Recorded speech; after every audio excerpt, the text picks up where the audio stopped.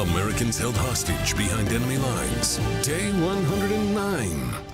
Well, everybody else seems to have turned the page. We refuse to on this program. 109 days counting. And tonight, the Taliban, along with the rest of America's enemies, they are now taking advantage of your president, Joe Biden's obvious weakness on the world stage.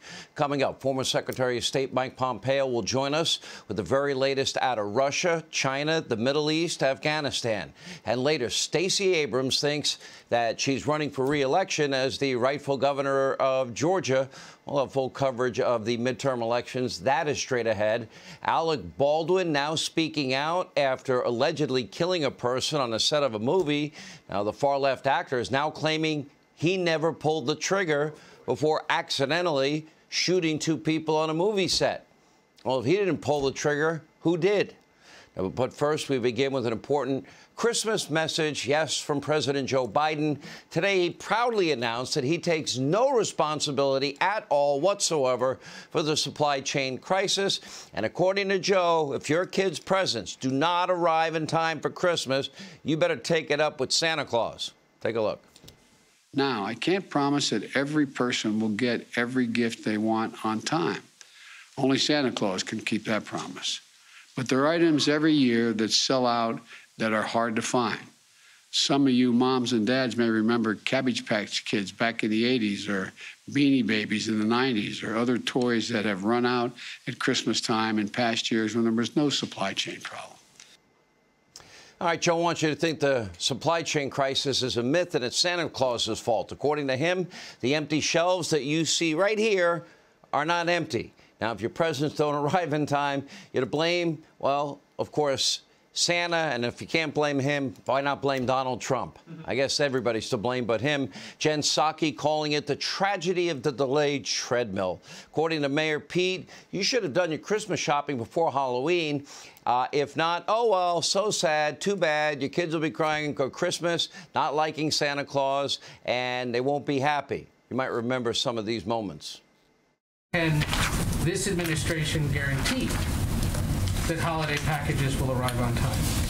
We are not the Postal Service or UPS or FedEx. Uh, we cannot guarantee. I think there's always been two kinds of Christmas shoppers. There's the ones who have all their list completed by Halloween, and then there's people like me who show up at the mall on Christmas Eve. If you're in that latter bucket, uh, obviously there's going to be more challenges. People couldn't get dishwashers and and furniture and treadmills delivered on time, not to mention all sorts of other things. So why the is it tragedy of the short the treadmill that's delayed? Right. Fundamentally, supply chains and logistics are run by the private sector. You know, people say to me, "Will Christmas gifts be delivered?" To which I say, "Call FedEx." You know, that that isn't what the government does.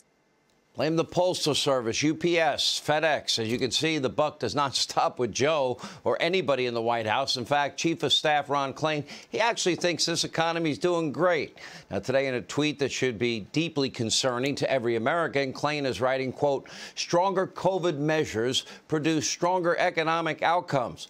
Oh, we need more draconian COVID measures. That's the answer to a, to a healthy economy. Of course, the opposite is true. And as you can see, the Biden administration takes responsibility for nothing, including the ongoing pandemic that Biden promised he would shut down. Now, this new Omicron variant, sadly, it is now officially here, confirmed in the U.S.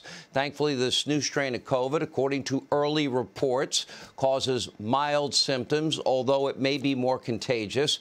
And while I always encourage everyone to take the pandemic seriously, there is, as of today, no reason to panic. Check with your doctor. But that didn't stop Joe Biden from banning travel from a variety of African countries. But when Donald Trump banned tra travel from China, where the virus originated from, Biden called him hysterical, xenophobic, and a fearmonger and, of course, suggested he's racist. Apparently now it's okay because President Joe uh, and Dr. Fauci approve. But today, even Fauci could not explain the African ban. Take a look. What justify what justify imposing a travel ban on countries that have zero case of the Omicron uh, uh, variant? You know, that's a very good question, an important question, and, and we did struggle with that, but we wanted to see if we could bide time temporarily. So I do hope that this gets sorted out and lifted before it has any significant impact on your country. I still want to know why the NIH gave money to the Eco Alliance that, uh, according to the NIH, was involved in gain of function research at the Wuhan Virology Lab on bat coronaviruses. Anyway, to recap, according to Biden, Trump was a racist for banning travel from China where the outbreak started. Perfectly okay for him to ban travel from certain African countries where the Omicron variant isn't even really present. Really, Joe?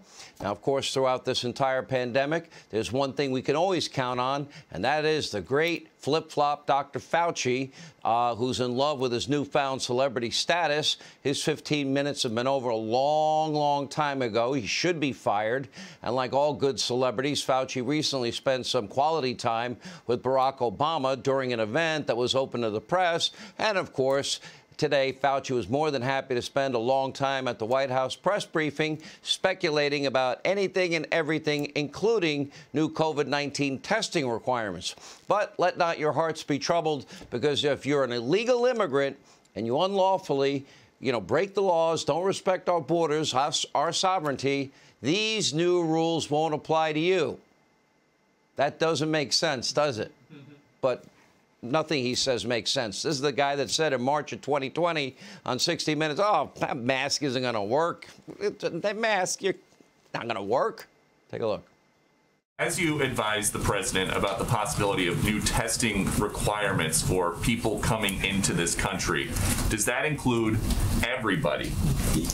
The answer is yes, because you know that the new uh, uh, the new uh, uh, regulation, if you want to call it that, is that anybody and everybody who's coming into the country needs to get a test within 24 hours of getting on the plane to come here. But what about people who don't take a plane and just these border crossers coming in in huge numbers? You know, that's a different issue. For example, when you're talking, we still have Title 42 with regard to protection at the border. So there are protections at the border that you don't have the capability, as you know, of somebody getting on a plane, getting checked, looking at a passport. We don't have that there, but we can get some degree of mitigation.